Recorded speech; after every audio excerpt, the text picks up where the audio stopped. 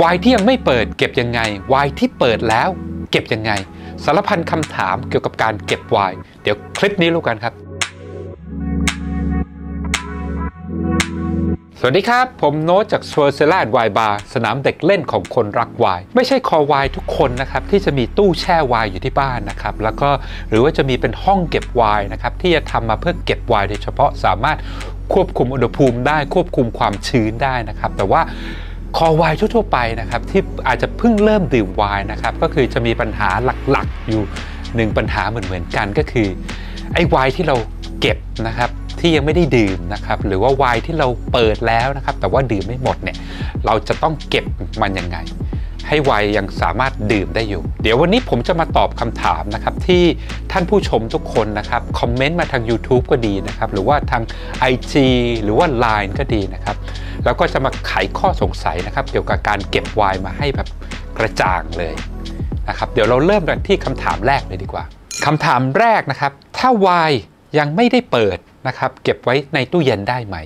อันนี้ผมไปทำคลิปไว้เลยนะครับ อย่างละเอียดเลยนะครับ ก็คือจริง ๆ การเก็บไวน์ในตู้เย็นเนี่ยหลายท่านคิดว่ามันเป็นสิ่งที่สามารถทำได้นะครับสำหรับผมก็คือเก็บไวน์ในตู้เย็นเนี่ยได้นะครับ เพราะอย่างแรกคืออุณหภูมิได้ นะครับคือไวน์มันจะไม่ร้อนจนเกินไป แต่ปัญหาของการเก็บไวน์ในตู้เย็นเนี่ยมันจะเป็นเรื่องของอุณหภูมิที่มันจะแกว่งเยอะมากนะครับเป็นต้นว่าคือเวลาเราเปิดประตูตู้เย็นนะครับอุณหภูมิก็จะขึ้น เวลาปิดปุ๊บมันก็จะเย็นลงนะครับพอตกกลางคืนมันก็จะเย็นจัดเลยนะครับ ซึ่ง การที่อุณหภูมิมันเปลี่ยนแปลงอย่างรวดเร็วเนี่ยหรือว่าเปลี่ยนแปลงบ่อยมากๆเนี่ยมันจะทำให้จุกคอกนะครับมันขยายแล้วก็หดตลอดเวลา ซึ่งตรงนี้เป็นปัญหาทำให้เขาเรียกว่าอากาศนะครับมันสามารถที่จะเข้าไปในน้ำวายสามารถทำให้วายเนี่ยมันเสื่อมลงได้นะครับ อันนี้คือเป็นปัญหาเรื่องแรกเลยนะครับ เรื่องที่ 2 ก็คือเป็นเรื่องของความสั่นสะเทือนนะครับ เก็บในตู้เย็นเนี่ยคอมเพรสเซอร์ ของตู้เย็นส่วนใหญ่จะเป็นคอมที่ค่อนข้างสั่นแรงนะครับ ซึ่งการสั่นเนี่ยมันก็เหมือนกับการที่แบบเราไปมีเด็กอยู่ที่บ้านนะครับ แล้วเราก็สั่นเขาตลอดเวลาเนี่ยเขาก็จะนอนหลับไม่สนิทไม่ได้เต็มที่ เพราะฉะนั้นไวายที่เก็บในตู้เย็นเนี่ยมันก็เหมือนกับวายมันไม่ได้พักอย่างเต็มที่นะครับ แล้วก็ถูกกระทบกระเทือนตลอดเวลาทำให้วายเนี่ยมันไม่สามารถที่จะ develop รสชาติหรือว่ากลิ่นได้ดีมากพอ ถ้าให้ผมแนะนำก็คือ เก็บได้แต่ไม่ควรจะเก็บนานจนเกินไป เรียกว่าเก็บปุ๊บก็คือรีบกินซะนะครับคำถามต่อไปนะครับ ผมเปิดแล้วเทใส่กระติกหรือขวดเล็ก ๆ จนมันเต็มขวด มันจะได้โดนอากาศน้อยลงหน่อย จะได้เก็บนานขึ้น โอ้อันนี้จริง ๆ ไม่ใช่คำถามนะครับ แต่เป็นมีผู้ชมนะครับก็คือแชร์มานะครับ ตรงนี้คือจริง ๆ เป็นเคล็ดลับในการเก็บไวน์ที่ผมเคยใช้อยู่เหมือนกันนะครับ เพราะว่า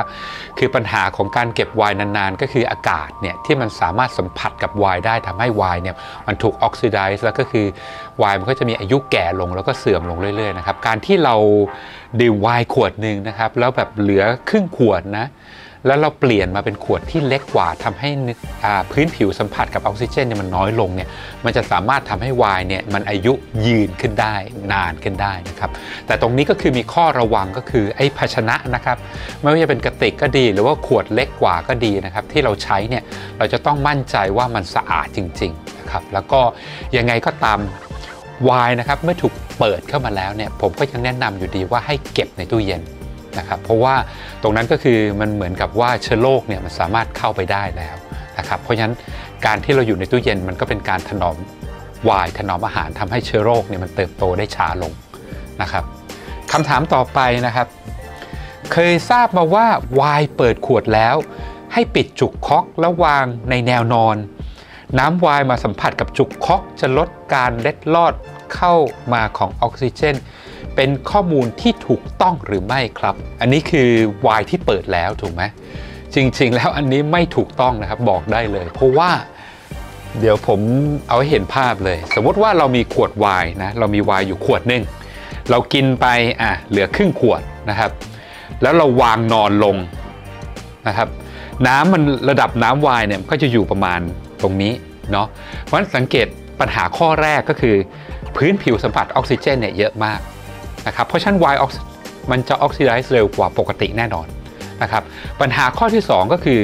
พอไวน์เปิดแล้วจุกคอกที่เราดันกลับเข้าไปใหม่เนี่ยมันจะไม่สนิทดีกับน้ำไวน์แน่นอน เพราะฉะนั้นตรงนี้จะมีปัญหาอีกอย่างหนึ่งก็คือไวน์เนี่ยสามารถที่จะลีกออกมาได้ ถ้าให้ผมแนะนำก็คือไวน์ที่เปิดแล้วนะครับเราปิดจุกคอกลงไปถูกต้อง แต่ว่าเราควรจะต้องวางตั้งเท่านั้น แล้วก็เก็บในตู้เย็นเหมือนกันคำถามนะครับข้อต่อไปนะครับ เปิดไวน์ดื่มในวันปีใหม่นะฉลอง ใส่ตู้เย็นทิ้งไว้นาน 3 อาทิตย์ เอามาดื่มได้ไหมครับ ทั้งที่รสชาติจะไม่อร่อยเหมือนเดิม มันจะเสียไหมครับ ตรงนี้เป็นคำถามที่ผมเจอบ่อยมากนะครับ เพราะหลาย ๆ ท่านเนี่ยจะแบบจะกลัวว่าเวลาไวน์เปิดทิ้งไว้แล้วเราไม่รีบกินให้หมดนะครับไวน์เนี่ยมันจะเสียแล้วก็คือพอเสียปุ๊บก็คือเรากินแล้วมันจะแบบ ไม่สบายหรือเปล่า หรือว่าท้องเสียหรือเปล่านะครับผมตรงนี้ผมบอกได้เลยว่าการที่แบบเปิดไวน์ทิ้งไว้แล้วก็ทิ้งไว้ในตู้เย็นประมาณ2-3อาทิตย์เนี่ยไวน์มันยังไม่เสียนะครับ เพียงแต่ว่าที่เสียไปก็คือกลิ่นและรสชาติ ที่มันจะเสื่อมไปตามเวลานะครับที่ไวน์เนี่ยมันได้สัมผัสกับออกซิเจน มากจนเกินไป ตอบสั้นๆ ก็คือสามารถดื่มได้นะครับ ไม่เป็นอันตราย แต่ว่ากลิ่นและรสชาติเนี่ยมันจะไม่ดีเหมือนเดิม คำถามข้อต่อไปนะครับไวน์แดงเก็บไว้ 3 ปีแล้วยังดื่มได้ไหม ยังเต็มขวดอ่าอันนี้เป็นคำถามที่ดีมาก เพราะว่ามันก็ต้องอยู่ว่าเราเก็บดีหรือไม่ดียังไงนะครับ แต่ว่ามันมีเคล็ดลับนะครับในการที่จะบอกว่าไวน์ตัวเนี้ยมันยังมีชีวิตอยู่หรือเปล่า กลิ่นมันยังได้อยู่หรือเปล่า หรือว่ามันเป็นไวน์ที่เสียไปแล้วนะครับ เดี๋ยวหยิบไมขวดให้ดูไวน์แดงโอเคโอเค อันนี้มีเคล็ดลับสำหรับเเรียกว่าคือทั้งมืออาชีพนะครับก็ใช้เป็นประจำนะครับเขาเรียกว่าการดูฟิลของไวน์เวลาไวน์ใหม่ๆนะครับหรือไวน์ที่เพิ่งเขาเพิ่งบรรจุเข้าไปในขวดใหม่ๆเนี่ยสังเกตก็คือระดับน้ำของไวน์นะครับมันจะขึ้นมาเกือบโดนแคปซูลเลยนะครับทีนี้ไอ้ระดับน้ำเนี่ยเขาเรียกว่า fill ของไวน์นะครับจะดูว่าไวน์ที่เก่าแล้วนะครับมันเก็บมาดีหรือไม่ดีนะครับ fill เนี่ยเป็นตัวบอกได้ดีเลย เพราะว่าอะไร เพราะว่าถ้า fill ของไวน์มันต่ำลงไปนะครับ หรือว่าบางคนเขาบอกมันลงไปถึง shoulderนะครับ ก็คือมันแสดงว่าอะไร แสดงว่าไวน์เนี่ยมันระเหยออกไปได้ หรือว่าไวน์เนี่ยมันมีอากาศเข้ามาได้ แสดงว่าจุกคอกนะครับที่ปิดอยู่เนี่ยมันเริ่มเสื่อมสภาพแล้วทำให้น้ำไวน์ระเหยออกอากาศเข้าได้ เพราะฉะนั้นไวน์ที่ fill ต่ำเนี่ยนะครับแสดงว่ามันเป็นไวน์ที่มีโอกาสที่จะสัมผัสกับออกซิเจนได้เยอะกว่า นะครับ เพราะฉะนั้นไวน์ที่เก่าเก็บนะครับให้สังเกตอย่างแรกเลยก็คือ fill เนี่ยมันอยู่ตรงไหน ถ้ามันยังอยู่บนบนอยู่ยังเต็มเต็มอยู่เนี่ยตรงนี้มีโอกาสสูงมากที่ไวน์มันยังสภาพดีอยู่ยังสามารถดื่มได้ แต่ว่าถ้าไวน์มันฟิลต่ำลงมานะครับถึงระดับบาถึงระดับแบบลงมาเยอะๆเนี่ยก็คือให้สงสัยได้เลยว่าไวน์ตัวนั้นเนี่ยอาจจะตายไปแล้วก็ได้ คำถามต่อไปนะครับ อยากทราบว่าไวน์แดงเปิดและปิดจุก แล้วต้องเอาไว้ข้างนอกตู้เย็นหรือแช่คะปอลออยู่ต่างประเทศอากาศไม่ค่อยร้อนค่ะ มือใหม่หัดดื่มค่ะ อันนี้เป็นคำถามที่ดีมากๆนะครับสำหรับท่านผู้ชมที่อยู่ต่างประเทศนะครับอตอบง่ายๆเลย ขอแนะนำว่าให้แช่ตู้เย็นอยู่ดี ง่ายๆเลยคืออุณหภูมิในการเก็บไวน์เพื่อเอจจิ้งนะครับ กับอุณหภูมิในการเก็บไวน์เพื่อให้มันไม่ให้มันเสียเนี่ยไม่เหมือนกันนะครับ aging เนี่ยคือเป็นไวน์ที่เราแบบยังไม่ได้เปิด แล้วเราจะเก็บให้มัน develop ไปนานๆนะครับอาจจะแบบเป็น 5 ปี 10 ปี 20 ปีก็ได้นะครับ ตรงนั้นคืออุณหภูมิมันจะอยู่ที่ประมาณแค่ 15-16 องศาอะไรประมาณนี้ แต่เมื่อไรก็ตามนะครับที่เราเปิดจุกไวน์ออกมาแล้ว เพื่อที่จะมาดื่มมันแล้วเนี่ยเชื้อโรคมันเริ่มเข้าลงไปแล้วนะครับ อากาศมันเริ่มเข้าไปเยอะแล้ว ตรงเนี้ย เราไม่ได้ต้องการให้ไวน์มันเอจจิ้งมากขึ้น แต่เราต้องการที่จะเก็บรักษาคงคุณภาพของไวน์ไว้ไม่ให้มันเสื่อมลง ไม่ให้มันเสียไปนะครับเพราะฉะนั้นตรงนี้ก็นึกถึงเวลาเรากินอาหารนะครับที่เราอยากจะเก็บให้มันอยู่ได้นานๆนะครับก็คือเราต้องแช่ตู้เย็นเพื่ออะไร เพื่อให้พวกเชื้อโรคพวกต่างๆ นานาเนี่ยมันไม่เจริญเติบโตเพื่อให้มันไวน์เนี่ยมันสามารถอยู่ได้อีกนานๆ นะครับเพราะฉะนั้นตรงนี้คือเป็น 2 เรื่องที่ไม่เหมือนกัน เพราะฉะนั้นยังไงก็ตามไวน์ที่เปิดแล้ว ผมก็ขอแนะนำว่าให้แช่ตู้เย็นไว้โอเคคำถามต่อไปนะครับ ปกติจะแช่ไวน์ขาว และสปาร์กลิงไวน์บางส่วน ในตู้เย็นเพื่อพร้อมกิน ส่วนมากไม่เกิน1อาทิตย์ค่ะแต่มีเหตุการณ์ไปหาหมอหมอสั่งงดแอลกอฮอล์แบบนี้ควรทำไงดีคะ ควรแช่ต่อไปหรือเอาออกมาเก็บที่ชั้น อุณหภูมิห้องไม่โดนแสง น่าจะโดนงดประมาณ 1-2 เดือนค่ะ ถ้าให้ผมแนะนำนะครับ ผมว่าเอาออกมาจากตู้เย็นได้เลย เพราะว่าถ้า 1-2 เดือนเนี่ยเราไปเก็บในตู้เสื้อผ้าที่ไม่โดนแดด แล้วก็อุณหภูมิไม่ได้สูงจนเกินไปเนี่ยไวน์จะปลอดภัยกว่า เพราะการเก็บไวน์ขวดขวดหนึ่งนะครับในตู้เย็นเป็นเวลาถึง 1 เดือนเนี่ยอย่างที่อธิบายไปตอนต้นคลิปก็คือจุกคอกเนี่ยมันจะขยายหดจะขยายหด แล้วก็โอกาสที่ออกซิเจนจะเข้าไปเยอะมาก แล้วก็โอกาสที่ไวน์จะลีกเนี่ยก็จะเยอะมากอยู่เหมือนกัน เพราะฉะนั้น ถ้าเก็บไวน์เป็นหลักเดือนเนี่ยแล้วเราไม่มีตู้แช่ไวน์นะครับ ผมขอแนะนำว่าไปหาที่มืดๆเย็นๆ แล้วก็อุณหภูมิคงที่ดีกว่าเก็บไว้ในตู้เย็นแน่นอนคำถามต่อไปนะครับ ถ้าอยากดื่มไวน์แค่ 1-2 แก้วก่อนนอน จะเก็บอย่างไรดีครับ และควรดื่มเป็นไวน์ขาวหรือไวน์แดงดีครับไวน์ขวดหนึ่งนะครับมันลินได้ประมาณ 6 แก้ว คือถ้าเราจะดื่มทุกวันนะครับ ก็แสดงว่าเราเก็บประมาณแค่ 3 วันถึง 6 วัน นะครับ ตรงนี้ผมแนะนำว่าง่ายดายมากเลยก็คือใช้จุกคอกเนี่ยแหละ ปิดกลับเข้าไปใหม่แล้วก็แช่ตู้เย็นนะครับแล้วก็เวลาจะกินก็เอามาตั้งทิ้งไว้สักพักหนึ่ง หรือว่าลินเทใส่แก้วให้อุณหภูมิมันได้ แล้วก็ดื่มไป การเก็บไวน์3ถึง6วันในตู้เย็นเนี่ยไม่ทำให้ไวน์เสียแต่อย่างใด แล้วก็เป็นการถนอมไวน์ด้วยซ้ำสำหรับคำถามที่บอกว่าเป็นไวน์ขาวหรือไวน์แดง ตรงนี้ผมบอกว่าอันนี้แล้วแต่คนเลยจริงนะครับบางคนก็ชอบดื่มไวน์แดง บางคนก็ชอบดื่มไวน์ขาว แล้วแต่ว่าเหตุผลเราคืออะไรบางคนแบบถ้าเป็นเรื่องของสุขภาพจริงๆไวน์แดงอาจจะดีกว่า เพราะว่ามันมีสารพวก antioxidant เนี่ยที่มีหลายงานวิจัยบอกว่าเอ้ยมันช่วยเรื่องสุขภาพด้วยคำถามต่อไปนะครับ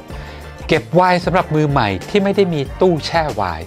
เก็บไวน์สำหรับมือใหม่นะครับที่ไม่ได้มีตู้แช่ไวน์ตรงนี้ต้องถามก่อน ว่าจะเก็บนานแค่ไหนนะครับคือถ้าสมมติว่าถ้าเราเก็บเป็นแค่หลักอาทิตย์นะครับ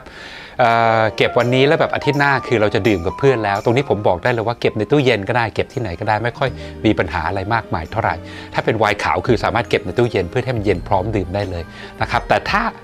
เราจะเก็บไวน์นะครับเป็นหลักเดือนนะครับหรือว่าเป็นหลักปีเนี่ยแนะนำว่าให้เก็บนอกตู้เย็นนะครับแล้วก็ไปหาสถานที่ที่เขาเรียกว่าอุณหภูมิค่อนข้างคงที่นะครับอย่างเป็นต้นว่าในตู้เสื้อผ้าของห้องนอนที่แดดไม่ค่อยส่อง หรือว่าล่มตลอดเวลาเป็นต้นนะครับ เพราะว่าอย่างบางห้องเนี่ยที่แดดส่องเลยนะครับช่วงแดดส่องเนี่ยอุณหภูมิก็จะขึ้นไป 30-40 ก็มีนะครับพอตกตอนกลางคืนปุ๊บเรานอนเราเปิดแอร์อุณหภูมิมันจะลงมาเหลือแค่ประมาณ แล้วแต่ก็ 18 ก็มี 20 กว่าก็ดีนะครับ ตรงนี้ก็คืออุณหภูมิมันจะมันจะแกว่งเยอะมาก แล้วปัญหาที่ตามมาก็คือไวน์มันจะลีก เพราะว่าจุกคอกมันขยายหดขยายหดตลอดเวลานะครับแล้วพอไวน์ลีกเนี่ยเรื่องใหญ่ลีกปุ๊บออกซิเจนเข้า แล้วก็น้ำไวน์มันก็จะเริ่มระเหิดออกไปเรื่อยๆไวน์เสื่อมเร็วมาก อีกที่ก็คือต้องเก็บในที่มืดนะครับอย่าให้โดนแสง โดยเฉพาะ UV เนี่ยเป็นอันตรายต่อน้ำไวน์มากๆนะครับสังเกตก็คือขวดไวน์ทุกขวดเนี่ยมันจะเป็นสีชาหรือสีทึบหน่อย ตรงนี้ก็คือเพื่อเป็นการป้องกันแสง UV โดยเฉพาะ แล้วก็เรื่องความชื้นนะครับ ถ้าเป็นเมืองไทยเนี่ยจริง ๆ แล้วเราไม่ค่อยต้องกังวลมากเท่าไหร่ เพราะว่าเมืองไทยมันเป็นประเทศที่แบบค่อนข้างร้อนชื้นอยู่แล้วนะครับ จุกคอกเนี่ยส่วนใหญ่ถ้าเราวางนอนนะครับให้น้ำไวน์เนี่ยสัมผัสกับจุกคอกตลอดเวลาโอกาสที่คอกจะแห้งเนี่ยมันก็จะน้อยกว่า ถ้าเราเปรียบเทียบกับการที่เราไปแบบไปใช้ชีวิตอยู่เมืองนอก แล้วอากาศมันแห้งกว่าเยอะนะครับแต่ว่าอย่างไรก็ตามนะครับถ้าใครที่แบบเป็นคอไวน์แล้วแบบ คิดว่าจะเริ่มดื่มอย่างจริงจัง และคิดว่าแบบซื้อไวน์ตัวหนึ่งเราอยากจะไปแบบไปเปิดดื่มตอนที่ลูกเราแต่งงานอะไรเงี้ยนะครับ ผมแนะนำว่ายังไงก็ต้องซื้อตู้แช่ไวน์ไวน์สภาพดีกว่าแน่นอนคำถามข้อสุดท้ายนะครับไวน์ที่เปิดขวดแล้ว ปกติจะเก็บไว้ต่อได้นานแค่ไหน แล้วมันมีผลอะไรบ้าง ครับถ้าเก็บ จริง ๆ ผมมีทำคลิปไว้อย่างละเอียดเลยนะครับ แต่ว่าก็แนะนำก็คือถ้าเป็นไวน์ขาว light body ดื่มไม่ง่ายนะครับ ก็ 3-4 วันเก็บในตู้เย็นเนี่ยก็ได้ แต่ถ้าเป็นไวน์แดงที่ออกฟูลบอดี้หน่อยก็จะเก็บได้แบบเป็นอาทิตย์ก็มี อันนี้แล้วแต่คุณภาพของไวน์แล้วแต่ประเภทของไวน์แล้วก็แล้วแต่ว่าเราดื่มไวน์ไปเยอะแค่ไหน ถ้าเราดื่มนิดเดียวนะครับอากาศยังสัมผัสได้น้อย เราก็สามารถที่จะเก็บได้นานกว่า ยังไงก็ลองไปดูคลิปที่ทำไว้ได้เลย ก็หวังว่าคลิปนี้นะครับก็จะไขความกระจ่างในเรื่องเกี่ยวกับการเก็บไวน์ได้ไม่มากก็น้อยนะครับ ก็ยังไงก็ถ้าใครมีคำถามเรื่องอื่นนะครับหรือว่าเรื่องนี้ก็ตามนะครับ ก็ยังคอมเมนต์กันมาได้อยู่ใน YouTube นะครับหรือว่า Instagram หรือว่าทางไลน์ก็ได้นะครับ แล้วก็ใครนะครับมีคำถามนะครับหรือว่าอยากรู้เรื่องเกี่ยวกับวน์เรื่องไหนก็ตามนะครับ ก็คอมเมนต์กันมาได้เลยนะครับ ไม่ว่าจะเป็นใต้คลิปหรือว่าทางช่องทางไหนของเราก็ตามนะครับ แล้วเดี๋ยวยังไงเดี๋ยวพบกันคลิปหน้าครับผม สวัสดีครับ